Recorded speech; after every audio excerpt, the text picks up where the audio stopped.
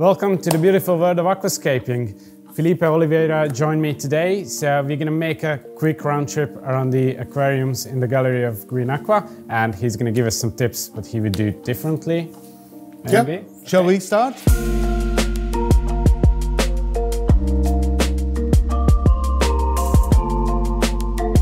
Let's start with the first one. So first this one. has been made by uh, Balázs and me.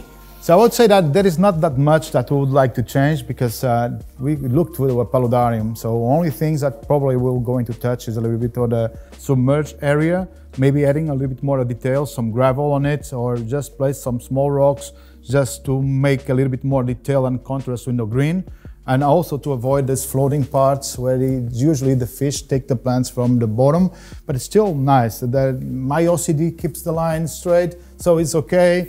Maybe just a small clip here and there, just don't uh, let the plants be a little bit more invasive, yep. but more under control. But in general, this tank looks amazing. Huh? Okay. We did a really amazing job. Thank you. Second one. Second one, let's this go. This has been done by Dave Chow. Yeah, I was here on that time. Yeah. I must say that it's a little bit uh, changed from uh, what we have seen on, the, on that time. Uh, I'm not saying that it's worse or better than that time. Uh, it's just the personal twist. And uh, of course, uh, some change must, must be made to make the maintenance a little bit much easier. The only thing that we should do, and I believe that we didn't touch it because we going to, uh, we had an event over here at uh, Green Aqua, so usually not trim the, the, carpet because otherwise it will not look that nice for the event. So I believe that we're going to do in the near future, just trim a little bit the Monte Carlo and make it more even to the uh, soil and also trim a little bit the, pinnatifida in a way that it stays short and more attached to the, to the rocks. But in general, looks really, really nice. I would not change that much. It's only normal maintenance that uh, I understand the point of view not doing it because of the event. Yeah. Okay, next one. So let's go this for this This is one. done by Josh Sim, two times IPLC champion. So for this one, the only thing that catch me immediately the attention is all this line of the sand. I usually don't like it because uh, when we use a lot of uh, wood and, and, also soil that is underneath, usually make a taint uh, base on sand, and you can see for the mark. And uh, usually this doesn't look so pleased or so nice for the people as seeing it. So as a maintenance guy, I always just vacuum a little bit this sand, make it thinner as possible, even make it growing towards back. And of course, if it's possible, trim a little bit the moss, take some excess, don't leave this big piles of moss in the in the wood, but make it just uh, a slight touch over the wood. So show more a little bit of wood, keeping the moss, but not with too much volume. Okay. Next one. So next this one. is actually my tank. Uh, this is probably being a little bit uh, in the different way I was explaining before by using too much plants is a very impactful layout. Keeping always same, the same thing, the line, and I think this can be controllable for the people who is doing the maintenance by just vacuum a little bit or just using the car, just can press a little bit and make the line uh, very, very straight. Uh, some people like the undulated wave, they say that make the flow and more natural feeling. But for me, it's like lack of maintenance. I would like to see the line, less sand, less soil, uh, not having the rocks so close to the front glass, and if possible, to make it trim. And even if it's not completely full, it's also nice to see a little bit in the soil and some plants. It, I think it turns it more natural too. So in general, it's okay. All the plants are placed, even a small uh, contrast and mix of the different foreground plants works quite well. In general, it's clean. So I think nothing more than just uh, the front part of it. Okay, thank you. Next one. I don't remember who's done this. Uh, this one was from Fukada. I ah, think yeah. It's, uh, we keep the same problem here, but I think that later on with the trimmings we can just fix it. Uh, and we can see this for the next one because it was done by me. We see for the front glass, the minimalist use of soil and yep. also the sand. It makes much easier the maintenance. So as a maintenance guy, I always keep and try to make my tanks to be easier for the, the customers too. Okay. So then you are at your tank. Yeah, this is my tank. Uh, I am a little bit more picky uh, because uh, when I made it for the first time, of course, I had an idea. I knew that you guys placed some rocks in the middle. I was saying, oh, that this is not looking that nice. You are changing the concept of the design because when we trim something like this, this must be shorter on the front, moving uh, higher on the backwards. And mostly here the area should be trimmed a little bit low so the wood can be seen through the horizon on the back. So it means next time when you trim it, try to trim it a little bit lower, going backwards uh, or towards to the sides, but also considering that it's lower on the front and moving higher to the back. So it's like more around the way, but forcing a little bit on the center. So in the way you can see also the wood because hardscape must be seen. Okay, you see also for the sand, I have used really a minimalist line. So if you want to make it clean, you can just vacuum and replace it again. And it's easy and very short and uh, on the sides that make the tank a little bit more sleek with more depth back towards uh, the, the tank. So let's move that to the next Here's one. The big one from. So the big one, and this is a little bit tricky because um, when I look to this tank, um, a few things doesn't match, um, mostly because of the, also coming back also the front. Uh, I would like maybe to see this in white sand because it's too much black. We don't see any too much contrast on the tank. Uh, and then also um, the way how the, the rocks were placed on the backward, so probably I will not fill it up so much just near to the back uh, glass uh, because it looks like a barrier. There is no transition. You lose a lot of depth. And also for the foreground, I would like to see some Eleocharis mixed with uh, some Glossostigma, trim it a little bit flush near the soil, add some details and let it grow. Because this I don't think we're going to change. it, it is what it is. This is a part of the concept of the design or the initial design uh, because making the contrast between green and black so, but it was me in the kind of maintenance, problem with vacuum and replace some, some sand and make it even contrast even more. Okay.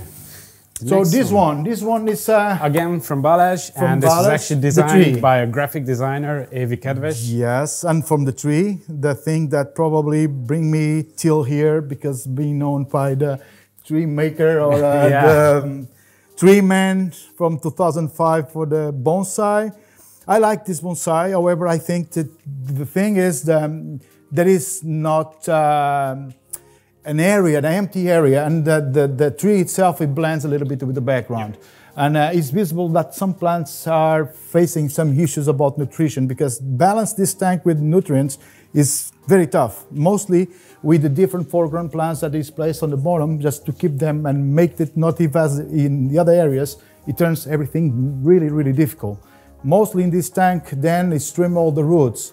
And you can see from uh, Alternanthera Reineckii Mini that is suffering a little bit. No idea if it was regarding water change, some water conditions. But uh, I believe that if you trim it a little bit more, so in a way that um, you can keep the nutrients a little bit higher, everything can get on back on shape. Of course, it will give you a lot of work because you need to trim a little bit more often the foreground. But anyway, it's a really good job. Only lack for more contrast in the background. Okay, so let's go to the 60Ps. The 60p. Uh, the first one was done just about an hour ago. Yeah, by, by Fukada. It was also my favorite uh, during the the competition. Yeah, you've between made the final choice. The final Yes, vote was mostly yours. because I am a plant geek guy. I would like to see more plants, and I look to a tank considering the future. The future.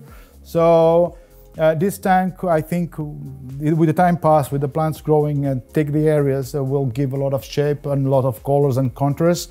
Uh, and also, I think is a, a nice addition to your gallery because it will be a little bit different from all the others for the composition, triangular shape. Because all the 60p you have is a different um, concept. You have a diorama, you have a single, uh, simple layout, and you are most about the greens. This one will have more a little bit color, so I think will look nice. Let's go for the greens then. For the greens then, By I the Aqua Girls, Vicky and For this one, we still have the, um, the same issue. I, I believe that it takes a, a long, long time just to trim this moss. Because this is the, the only thing that becomes in the moss when we use a lot of moss, we need to trim very often. If you don't do it, it can get a big balls. And you see that for the wood, the wood is very thin. It gives a lot of details, but you let the, the moss grow so, so uh, big, it, it looks like massive and balls of uh, uh, moss turning the wood. So I know how difficult it is when you trim it, just trying to vacuum. And mostly when you have wood so close to the front glass, maintenance will be very difficult on this one. But uh, I will try to give my best to trim the moss, or even if I had to take remove the moss, I just glue it again, just slight touch on it, and try to keep it always very tight and close to the wood as possible. Right. Okay. So This one is uh, how much? Uh, how it's many? by Daiki Araki from yes, uh, ADA. two months. One month, actually. One month. Yeah. Yeah, but this is a very clean design. I, I, like the very clean design. I, I did myself in the Aquaflora Gallery, um, I think one month ago, and when I placed the wood, like I call that the forest, mostly when I was gluing and uh, trying to use uh, more the empty space, not over full with a lot of plants that I usually I do. Uh, I also kind of inspired a little bit in the way how we place the wood by minimalist design. And this is the thing that I really always like to see. This very thin layer of sand. There is no uh, lot of ammonia created underneath the sand. So if you have any issue with the sand or not getting um, chlorification, so it's not getting dirty, you can always vacuum and replace very easily. Uh, not, that does not happen on the other tanks because they had a big layer and if you try to vacuum, it will be a mess. The soil will come to the front. This is a clean design. The only thing that I will do in this tank is try to trim the Pinnatifida the much I can so it can stay very, very short and colorful and uh, just spread around and don't let them go to other parts than the wood and keep it like that. Yeah. And the last one From the the 60s Uris, from yeah? Uris, yeah. I remember this one. I was here on that time. I think it was the, during the 10th anniversary or my workshop. Uh, this is a very tricky one. Either one of those, yeah. But, But I think it's it was between one of that. it's over that. Um, this one also defeat the tank that was uh, on the uh, gallery awards or yeah, something like that. Amateur Aquascaping Yeah. channel, yeah. So what the, the diorama escape that this looks really nice. In this way, um, the only thing is still always coming out for the level of the soil, but I think that was left by purpose because just to match the soil. So there is no uh, a deep hole just to make like a path. The path really exists, but don't need to be uh, drained in a way. So we keep the same level of it. Uh, the only thing here is Riccardia. Riccardia um, is growing that fast, so I suggest probably just take it off a little bit, just glue some parts on it, don't make it look like a ball, because the moss is trimmed nicely, all the stem plants are nicely and colorful. The only thing is just Riccardia, don't to avoid to get too much volume, otherwise you start losing a little bit the artscape and the proportion of it. But in general, it's a really, really nice one. So have you finished or you still have more tanks to show? That's it. So That's it? Yeah, thank you very much for joining us and giving us all these tips. I'm sure some of us. Uh, I'm sorry I, I it. was really, really fast, No, but and somehow We had to do it quickly. So, guys, if you like this video, please subscribe to our YouTube channel and hit the bell button to get a notification from all the new videos. And if you like to support us, join our membership program. And see you next week. hey, Goodbye. care. Bye bye.